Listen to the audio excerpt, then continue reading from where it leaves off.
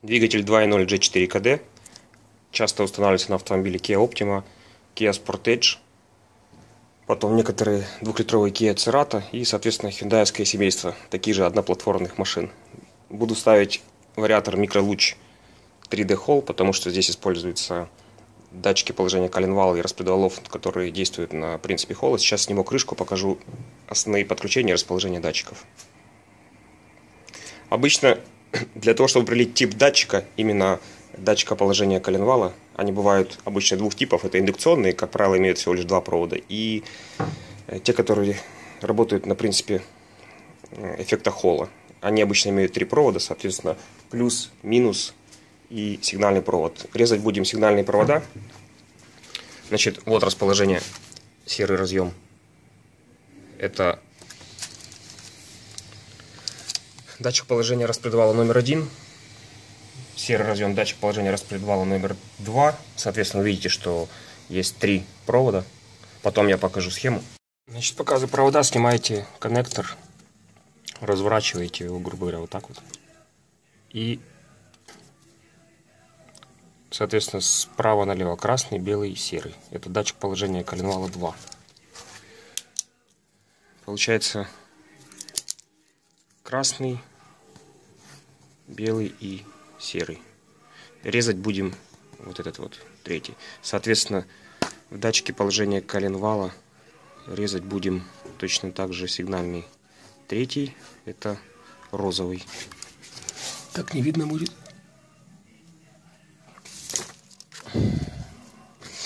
И датчик положения распредвала номер один Точно так же сигнальный датчик это синий с оранжевым. Тоже под номером 3. Это вот здесь. Вот он. Получается первый. Вот подключение самого вариатора. Получается плюс 12 красный. Я буду брать от э, питания, которое идет на мозги ГБО. Вот этот синий провод подключается к плюс проводу, на котором появляется плюс на управляющем клапане. Педаль можно не подключать. Э, соответственно, здесь понятно. Я показал сигнальные провода, которые будут резаться, и те, которые будут делиться. И еще обязательно масса вариатора берется от, э, скажем так, общего провода массы, который идет на ИБУ. Брать его будем с датчика положения коленвала. Ну и экран чтобы убрать помехи как можно ближе, нужно подключаться к датчику положения коленвала и, соответственно, экран буду кидать на общий провод массы. Все три датчика я расчековал и так снова. Вот это вот датчик положения распредвала номер один. Подключаться будем вот к этому проводу. Голубой с оранжевой. Датчик распредвала номер два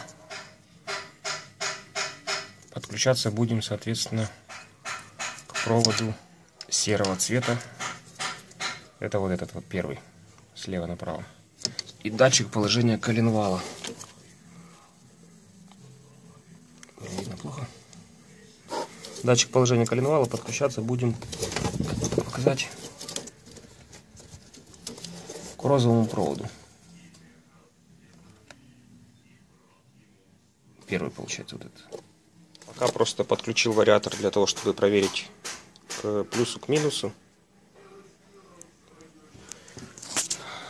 А, значит, подключил программу.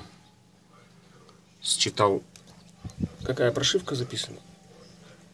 Ну и, соответственно, можно сейчас проверить. Это взять синий провод, кинуть его на плюс. И, соответственно, увидеть то, как работает вариатор. То есть переход его на газ. Еще собираем дальше.